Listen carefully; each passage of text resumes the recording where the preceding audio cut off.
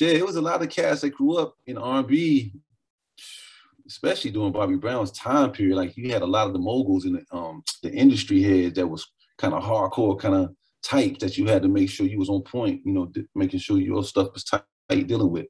And you know, Teddy Riley was coming up and through that era. He came from that school of, you know, sharks out there. You gotta, he was a young dude in the industry having to make sure he so that, you know, that part of the game, a lot of them don't get the um that story doesn't get told about how they had to like it was a head trip and young dudes with all that talent having to navigate all these sharks that saw dollar signs from them and how they had to produce, but then also keep their sanity, like and what that did for them going forward later on when they start getting groups and stuff. So that story should be told too. That's a you know, I think in terms of research, that's yeah.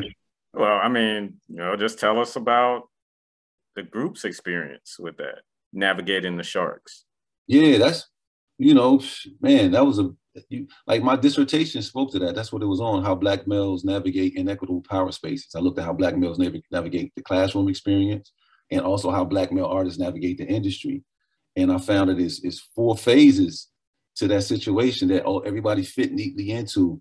And it was like the, you know, the, the trial and error phase, like when you first get into the industry, you know that there's a business side to it, but you think and as an artist, you know, the business side will kind of wrap itself around what I'm doing it with my art. It'll kind of like the dots will be connected.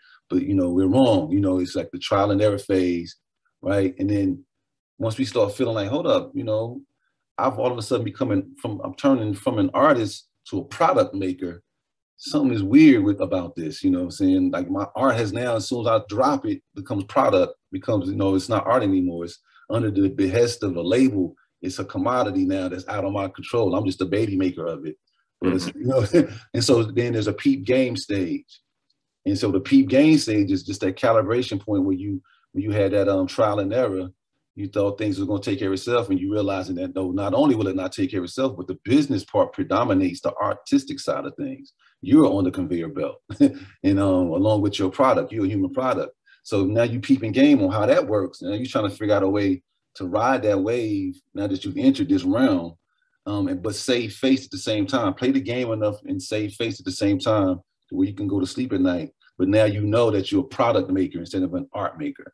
And so then there's this new attitude phase where you after you peep game and put a few of them jewels in your, your back, now you you you you um got a new attitude about what this is you're in, and now you're moving accordingly to those new dictates. And then the last one is experience is the best teacher. Um, you know, you have certain hardcore lessons that you take away from these experiences that you actually transfer over into your regular life. They become stalwarts and mantras in your own world. You know, like some people like don't conflate business situations with just hiring your friends.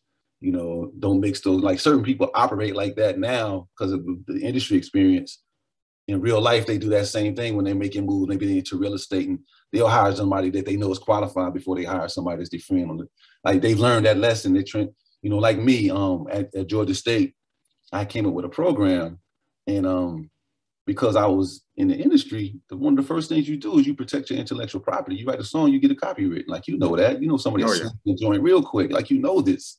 So I created a program at Georgia State, albeit that I was a student in a building.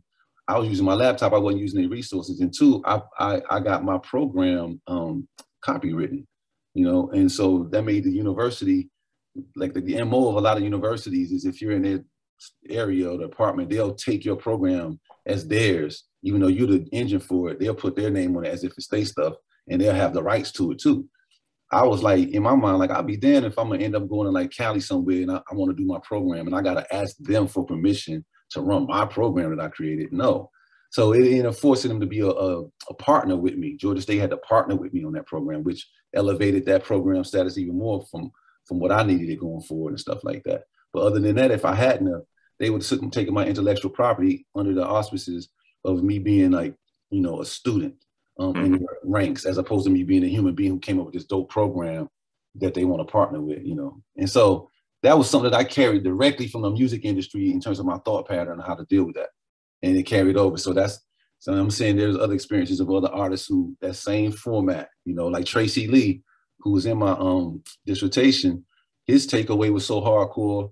Um, you know, experience being the best teacher, that the brother actually became an entertainment attorney on the heels of how he felt he was done. He needed to know his quest to know what this was supposed to be like drove him actually to notch it up, level up even higher, and get a degree in that, mm-hmm. specialize in that. You know what I'm saying? So he really went to the business of music business side and learned it in, in the whole situation, so he could help our other artists in the, in the, coming up in the future, but better arm himself too. So that's a life move he made that that was business um, centric, pretty much. So yeah, yeah, I've been I've been trying to get Tracey on the show for a while. Honestly, that's my guy, man. Philly, Philly's own. Yes, sir. True spitter.